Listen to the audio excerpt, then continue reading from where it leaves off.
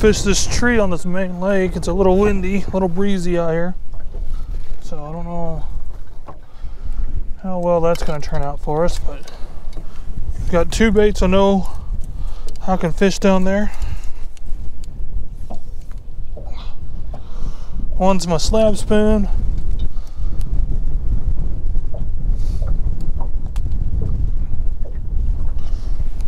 Well, the other is this crappie jig, but it's a little bigger. So we're gonna try it. Give it a shot. While you guys are watching me fish for a second, I'm using a 8 foot Mr. Crappie slab shaker with 10 pound braid, yellow braid so I can see it pretty well, uh, with a 6 pound leader tied to a 16th ounce jig head with a baby shad blue ice Bobby Garland jig. That is what I'm using today to catch all these crappie uh, pretty much through the entire video. Got him. Got him. He's not going to be big at all, but we got us a crappie. No skunk bug today. No skunk bug today.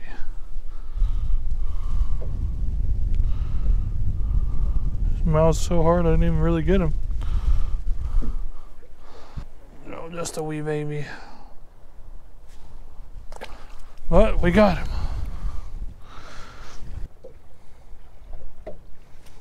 Got him. Got a second one. This one's smaller than the first.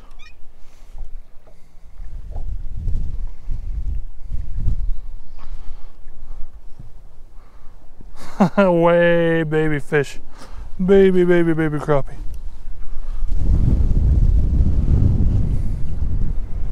Sorry about the wind, guys. Don't get too many fishing days, and some days you got to battle the wind, some days you got to battle the cold. Shoot, not even close. Well, today the water was a balmy 38 degrees. Pretty tough fishing, so what I end up having to do here is pretty much drop the crappie jig down to the depth of the crappie that are sitting in this tree and just dead stick the crappie jig, not even moving it. Just keep it as still as possible. And then eventually I'll feel either a little tick or I'll raise up on it and there'll be a little extra pressure and uh, right. I'll set the hook. Pretty simple winter crappie technique. You can do this over brush piles or in trees or any of those things like that. But when the water gets really cold, you just have to move really, really slow. Sometimes you just got to revert to, to what you know how to do. And I know how to, on this lake, I know how to catch crappie. So, boy, I got him good. Right through the snaz. Easy, buddy. Got him. Not very big still, but hey, I've caught two crappie. Three crappie. I'm sorry. I don't even know how to count. Three crappie. That jig is just about headed, so we're probably going to finish our day out crappie fishing since the bass fishing's not so good. And these crappie are biting super soft. Hmm. I'm just going to pull these out because I might need them here in a minute. I'd rather put that eighth ounce if I ever break off. This uh, 16th of an ounce isn't as potent to get down there. But for the crappie I'm catching, it might be the the right thing to be throwing down there because they're real tiny. This is a, a baby shad, blue ice. Hopefully y'all can see. I know the sun's right in y'all's face. Alright. We're gonna go see if we can find some bigger ones. Or maybe just explore, I don't know.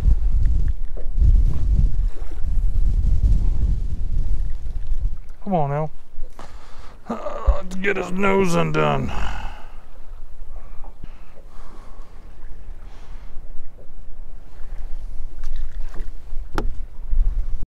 Alright guys, I want y'all to see the billion of crappie that I found. Look how thick they are. And these are some pretty bigger bigger ones than the ones I was catching earlier. So we're going to see if we can catch us a few keepers. Hey guys, I just want to pause it right here for a second and note that yes, I am using LiveScope to locate these fish, but you don't have to have LiveScope to find fish on your lake. I do have a video on how to find crappie using down imaging and side imaging, so make sure you check that out in the cards above. If you have LiveScope, man, it is definitely a useful tool. I've actually caught a few keepers already, but we're going to see if we can catch us a few more. Oh. Not a keeper, but still pretty decent. Oh, sorry. Sorry, big guy. Come here. Just a little one again. The water's so cold, it's 38 degrees. They like it dead. Dead. I think, uh, yeah, he got his tail knocked off. They like dead stick in the water. Pretty simple technique. We just found some trees out here on the main lake that are covered with crappies. Most of them are real little, but uh, some of them are eating worthy. Not that I'm eating them, but it's nice to catch a few that you know that you can eat if you wanted to. Oh, dang, that's a big one. That's a keeper.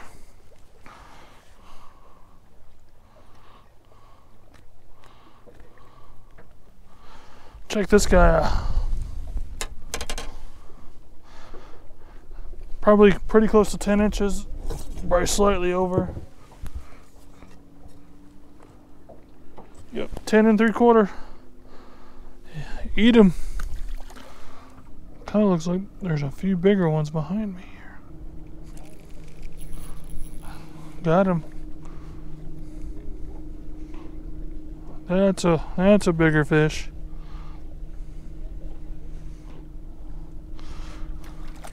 That's a white bass. Crappie fishing and catches a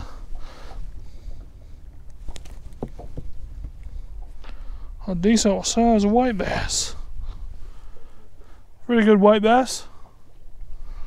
I'll check him out here. See how long he is.